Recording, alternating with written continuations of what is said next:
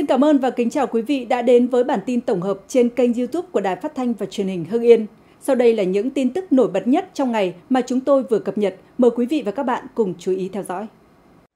Những chính sách mới nổi bật có hiệu lực trong tháng 10 năm 2024. Trong tháng 10 năm 2024, nhiều chính sách mới có hiệu lực như quy định về hành nghề công tác xã hội, quy định việc khai thác nhà đất là tài sản công không sử dụng để ở, sửa đổi bổ sung một số quy định mới về quản lý sử dụng tài sản công.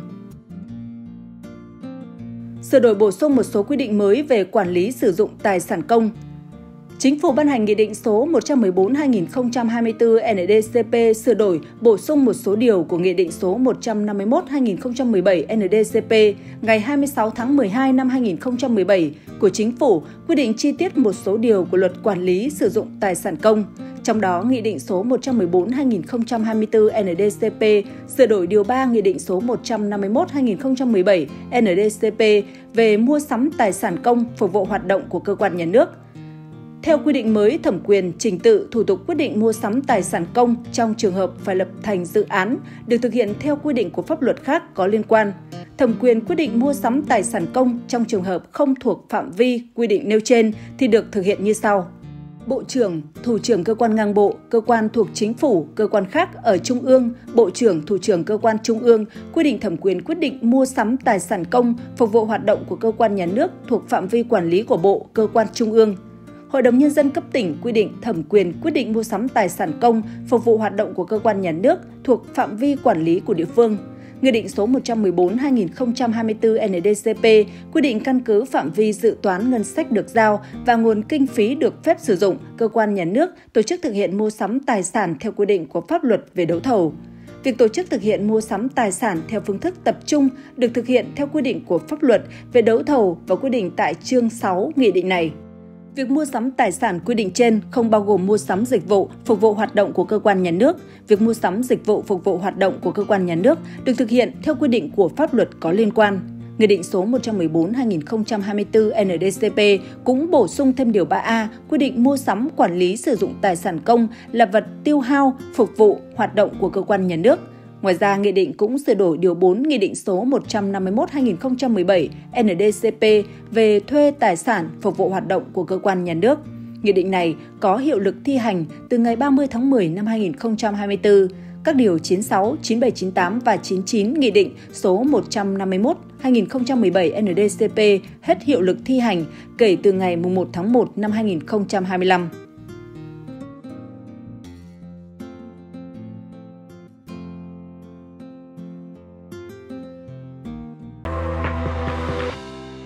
Quy định việc khai thác nhà đất là tài sản công không sử dụng để ở. Chính phủ ban hành Nghị định số 108-2024 NDCP quy định việc quản lý, sử dụng và khai thác nhà đất là tài sản công không sử dụng vào mục đích để ở, giao cho tổ chức có chức năng quản lý, kinh doanh nhà địa phương quản lý khai thác. Nghị định này quy định việc quản lý sử dụng và khai thác nhà, công trình xây dựng gắn liền với đất là tài sản công không sử dụng vào mục đích để ở, sau đây gọi tắt là nhà đất, giao cho tổ chức có chức năng quản lý kinh doanh nhà địa phương quản lý, khai thác với mục đích cho thuê nhà gắn với quyền sử dụng đất, tạm quản lý trong thời gian chờ thực hiện xử lý nhà đất theo quy định của pháp luật. Nghị định yêu cầu việc quản lý sử dụng và khai thác nhà đất phải đảm bảo hiệu quả, giải quyết nhu cầu về nhà đất, phục vụ nhiệm vụ phát triển kinh tế xã hội của địa phương, công khai, minh bạch, đúng pháp luật. Việc giao nhà đất cho tổ chức quản lý, kinh doanh, nhà quản lý, khai thác được thực hiện theo hình thức ghi tăng tài sản và giá trị tài sản không tính thành phần vốn nhà nước tại doanh nghiệp. Tổ chức quản lý, kinh doanh nhà, tổ chức cá nhân thuê nhà, cơ quan tổ chức đơn vị được bố trí nhà đất sử dụng tạm thời thực hiện đầy đủ trách nhiệm theo quy định việc quản lý sử dụng và khai thác nhà đất phải được giám sát, thanh tra, kiểm tra, kiểm toán theo quy định của pháp luật. Mọi hành vi vi phạm pháp luật về quản lý, sử dụng và khai thác nhà đất phải được phát hiện kịp thời, xử lý nghiêm minh theo quy định của pháp luật. Theo quy định, việc cho thuê nhà gắn với quyền sử dụng đất của tổ chức quản lý kinh doanh nhà được thực hiện theo phương thức đấu giá, trừ các trường hợp thực hiện theo phương thức niêm yết giá. Quy định này có hiệu lực thi hành từ ngày 15 tháng 10 năm 2024.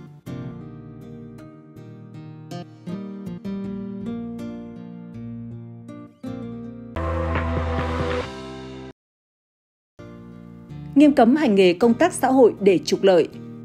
Chính phủ ban hành Nghị định số 110-2024 NDCP về công tác xã hội trong đó quy định cụ thể 6 hành vi bị nghiêm cấm trong công tác xã hội. Theo Nghị định số 110-2024 NDCP, công tác xã hội là hoạt động hỗ trợ cá nhân, nhóm, gia đình và cộng đồng giải quyết các vấn đề xã hội. Đối tượng công tác xã hội là cá nhân, nhóm, gia đình và cộng đồng có nhu cầu sử dụng dịch vụ công tác xã hội, sau đây gọi tắt là đối tượng. Công tác xã hội có chức năng hỗ trợ phòng ngừa, can thiệp, trị liệu, hỗ trợ phục hồi, phát triển đối tượng nhằm đảm bảo an sinh xã hội và xây dựng hạnh phúc của người dân, góp phần đảm bảo thực hiện quyền, nhân phẩm, giá trị của con người, công bằng và bình đẳng xã hội theo quy định của pháp luật. Nghị định cũng quy định rõ 6 hành vi bị nghiêm cấm trong công tác xã hội – cung cấp, công bố, tiết lộ, phá hủy thông tin, dữ liệu cá nhân của đối tượng mà không được sự đồng ý của đối tượng hoặc người giám hộ hoặc người đại diện, trừ trường hợp cơ quan cá nhân có thẩm quyền yêu cầu theo quy định của pháp luật.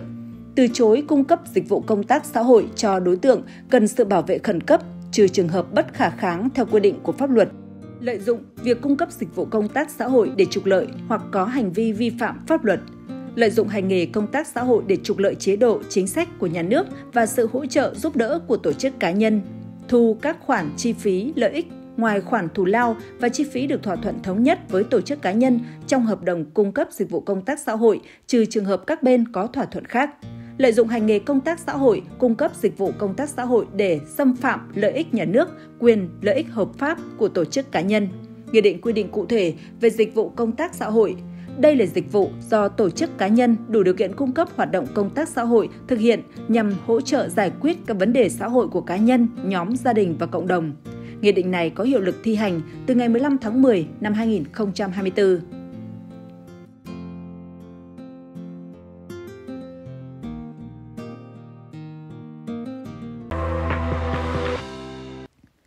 Quy định đánh giá số nhà tại khu vực đô thị nông thôn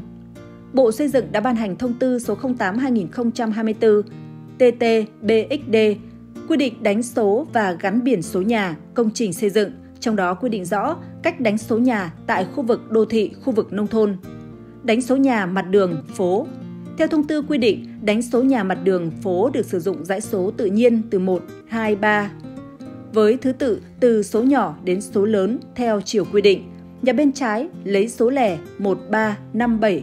nhà bên phải lấy số chẵn 2468. Trường hợp một nhà có cửa mở ra hai đường phố khác nhau thì nhà đó được đánh số theo đường phố có mặt cắt ngang lớn hơn. Nếu các đường phố có mặt cắt ngang tương đương thì đánh số nhà theo đường phố có cửa chính vào nhà hoặc đánh số theo đường phố đã được đánh số liên tục.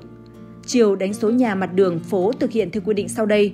Chiều đánh số nhà được thực hiện theo hướng từ Bắc xuống Nam, từ Đông sang Tây, từ Đông Bắc sang Tây Nam, từ Đông Nam sang Tây Bắc – Trường hợp đường phố đặc thù không thực hiện theo quy định tại điểm A khoản này thì chiều đánh số nhà do Ủy ban nhân dân cấp huyện quyết định. Ví dụ, đường phố dạng hướng tâm từ chiều đánh số nhà được thực hiện từ trung tâm thành phố, tỉnh, quận huyện, thị xã, thị trấn hướng ra phía ngoài trung tâm. Các đường phố được đánh số nhà trước khi thông tư này có hiệu lực thì giữ nguyên chiều đánh số nhà. Đối với đường phố chưa có nhà xây liên tục còn đất trống, Ủy ban nhân dân cấp huyện căn cứ quy định quy hoạch chi tiết xây dựng trên tuyến đường phố được cấp có thẩm quyền phê duyệt để đánh số nhà và đảm bảo có số nhà dự phòng đối với nhà công trình cho tuyến đường phố đó. Trường hợp chưa có quy hoạch chi tiết xây dựng về tuyến đường phố thì Ủy ban nhân dân cấp huyện quyết định tổ chức thực hiện đánh số và gắn biển số nhà để đảm bảo phù hợp với điều kiện cụ thể của từng khu vực. Trường hợp phát sinh nhà chưa được đánh số, nằm giữa hai nhà đã được đánh số liên tục trên đường phố thì các nhà mới phát sinh được lựa chọn đánh số theo một trong hai cách sau. Đánh số bằng tên ghép của số nhà nhỏ hơn và chữ cái in hoa tiếng Việt ABC bắt đầu từ chữ A. Ví dụ, số nhà phát sinh giữa hai nhà số 20 và số 22 thì đánh số 20A, 20B, 20C. Đánh số bằng tên ghép của số nhà nhỏ hơn và dấu gạch ngang và số tự nhiên bắt đầu từ số 1. Ví dụ, số nhà phát sinh giữa hai nhà số 20 và số 22 thì đánh số 20 1, 20 2, 20 3, vân vân. Đối với đoạn đường phố mới xây dựng kéo dài phía cuối của đường phố thì thực hiện đánh số nhà tiếp theo số nhà cuối cùng đã được đánh của đường phố đó theo quy định của thông tư này. Đánh số nhà trong ngõ ngách Đánh số nhà trong ngõ được thực hiện theo quy định sau đây. Trường hợp ngõ chưa có tên riêng, tên ngõ được đặt tên theo số nhà mặt đường phố nằm kề ngay trước đầu ngõ, có số nhà nhỏ hơn.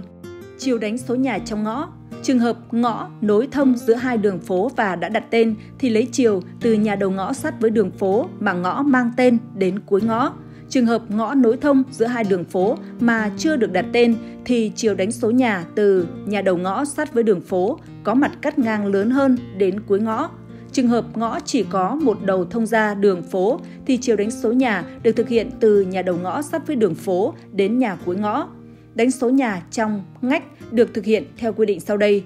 Trường hợp ngách chưa có tên riêng, tên ngách được đặt tên theo số nhà mặt ngõ nằm kề ngay trước đầu ngõ, có số nhà nhỏ hơn. Chiều đánh số nhà trong ngách. Trường hợp ngách nối thông giữa hai ngõ và đã đặt tên thì lấy chiều từ nhà đầu ngách sát với ngõ mà ngách mang tên đến cuối ngách. Trường hợp ngách nối thông giữa hai đường và chưa được đặt tên thì chiều đánh số nhà từ đầu ngách sát với đường có mặt cắt ngang lớn hơn đến cuối ngách. Trường hợp ngách chỉ có một đầu thông ra ngõ thì chiều đánh số nhà được thực hiện từ nhà đầu ngách sát với ngõ đến nhà cuối ngách. Trường hợp nhà trong ngõ ngách có tính chất đặc thù thì Ủy ban nhân dân cấp huyện quyết định việc đánh số. Thông tư này có hiệu lực thi hành kể từ ngày 15 tháng 10 năm 2024.